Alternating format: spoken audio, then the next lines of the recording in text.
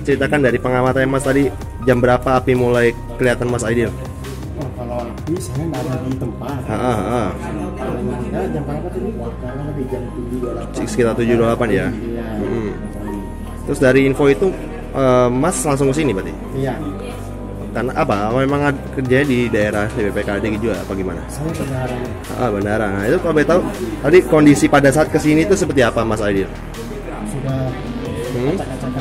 Hmm? Sobat apinya besar nggak tadi dari Ya, ya. Karena besar ya. Ini kira-kira kecil ya. Kecil. Ini kira-kira hasil terus apa ini? Apa yang terbakar nih? Kalau tahu bisa dijelaskan apa saja ini yang terbakar di dalam sini Mas?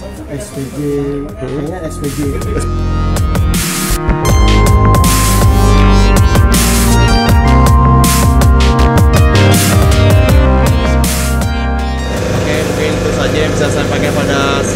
Hari ini. Saya Jino Pradikawartono, wartawan tribunkaltim.com melaporkan.